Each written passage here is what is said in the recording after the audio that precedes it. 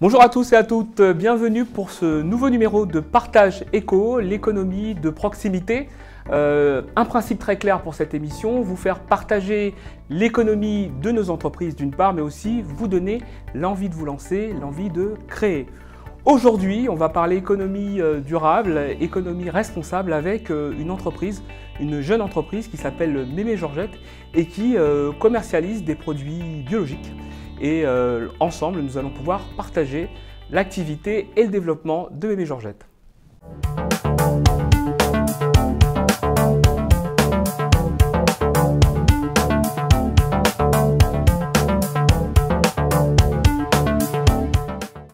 Bonjour à tous et à toutes, bienvenue pour ce nouveau numéro de Partage Éco, l'émission qui vous fait partager l'économie et euh, connaître effectivement le développement de nos entreprises.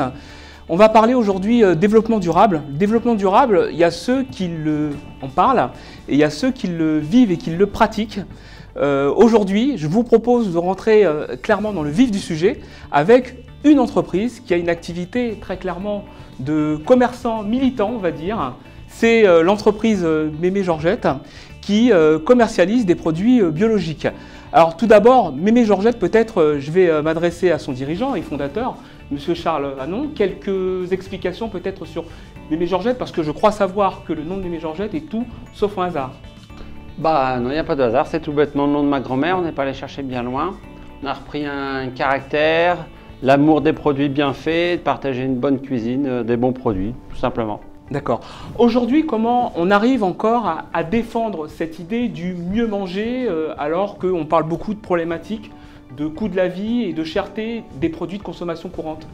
Oh, moi, c'est pas, c'est pas du militantisme, c'est non plus pas quelque chose à défendre, c'est une obligation.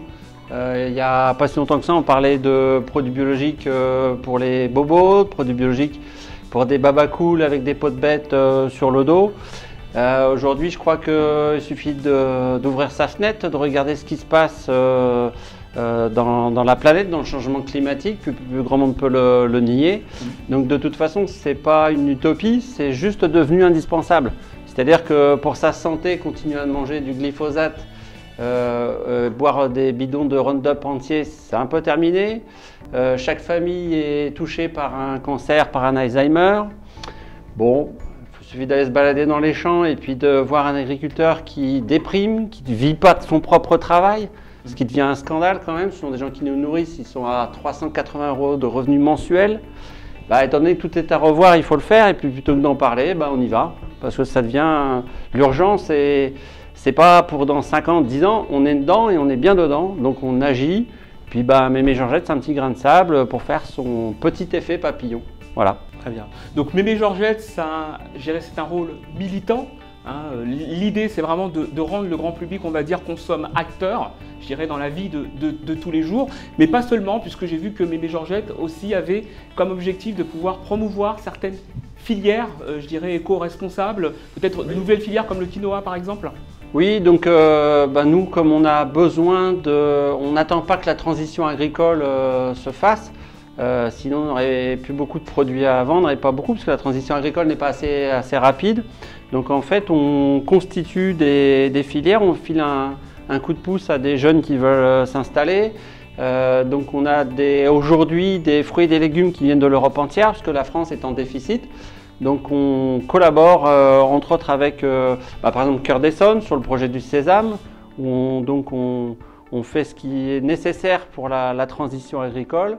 aujourd'hui il y a du foncier, il y a des jeunes qui veulent s'installer en bio, nous on a les débouchés, on essaye avec notre connaissance de rallier tout ça pour pouvoir avoir la matière première, la transformer, avoir de plus en plus de produits à vendre et, combler le retard franco-français. Très bien. C'est véritablement ce qu'on appelle l'économie sociale et, solidaire? Oui, économie circulaire, tout à fait. Euh, sachant que vendre des produits comme une multinationale, ça aussi c'est un peu terminé. Il y a une certaine forme de capitalisme qui est mort. C'est-à-dire faire de l'argent sur une planète qui est en train de se détruire, ça ne sert plus à grand chose. Euh, donc euh, Mémère et Georgette rajoutent euh, dans cette économie circulaire du, social. Alors déjà chez les paysans qui commencent à vivre de leur travail.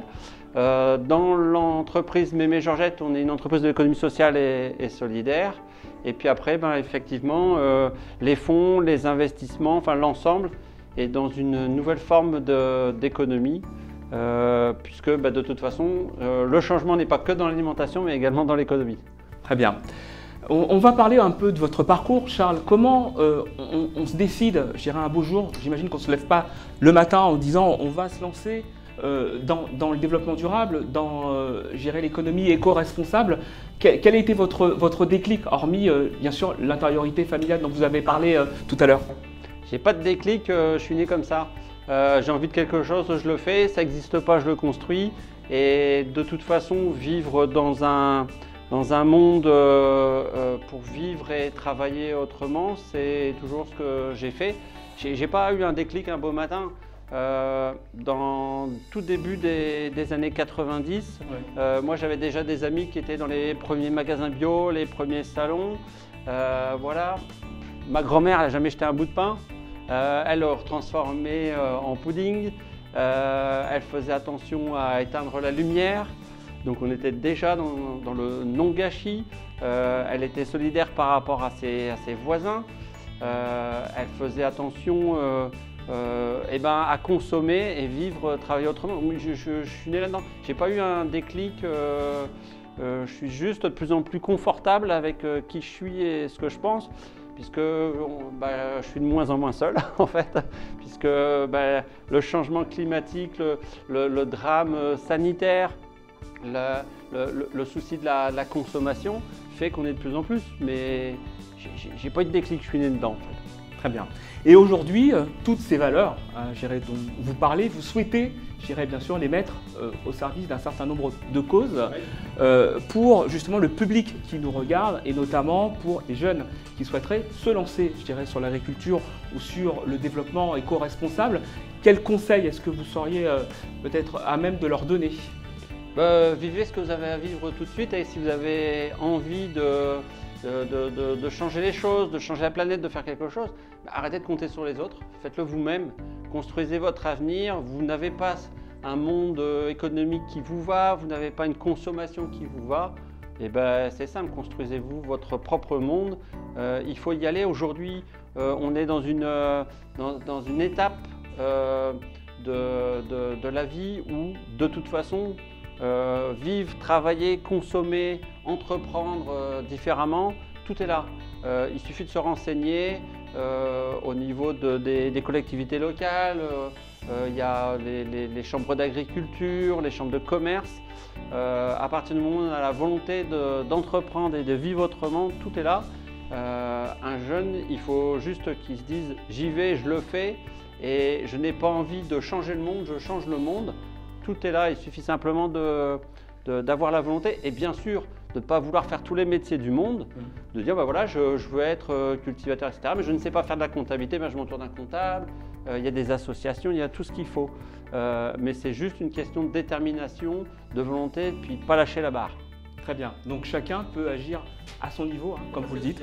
Voilà. Et puis il suffit d'avoir la volonté et puis surtout d'aller vers les gens. Hein. Oui, d'aller vers les gens. Aujourd'hui, euh, euh, des volontaires, on en trouve de, partout. Euh, ici, à la piscine, dans un lieu collaboratif, il y a plein d'échanges de compétences, il y a plein de clubs d'entrepreneurs, il y a vraiment tout ce qu'il faut pour être accompagné, aller au bout de son projet, le valider, valider toutes les étapes économiques, les études de marché.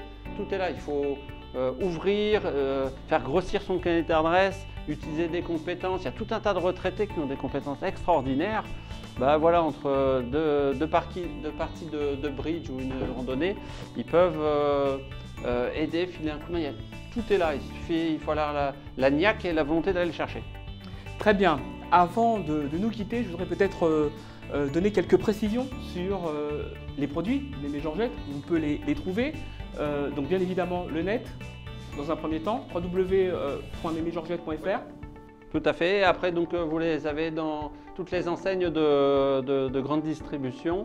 Euh, voilà, et puis on est en train de, faire un projet d'ouverture. On va fabriquer nous-mêmes nos, produits pas très loin d'ici, sur la base euh, R217 dans le cadre du projet Sésame. Euh, donc on va créer des emplois, vous allez avoir une boutique de vente en, direct. Voilà, donc pour trouver les produits Mémé Georgette, pas très compliqué, vous tapez Mémé Georgette et vous aurez toutes les informations où trouver sur le site internet ou sur Google où trouver les, produits. Merci, Charles, merci pour euh, cette bel échange. Avant euh, de nous quitter, parce que c'est à présent que s'achève ce nouveau numéro de Partage Éco, je voudrais adresser quelques remerciements déjà à les ateliers de, de NAT qui nous fournissent effectivement euh, le mobilier et le décor que vous avez, euh, je dirais, pour ce nouveau numéro de Partage Éco. Également l'agglomération, Cœur d'Essonne, et plus particulièrement la piscine d'en face qui nous accueille, et toute l'équipe technique de la Latitude 91 qui nous a permis de réaliser ce nouveau numéro. Je vous dis euh, en tout cas à très bientôt, et surtout, n'hésitez pas à vous lancer, je dirais, dans de nouvelles aventures. On est là pour vous aider.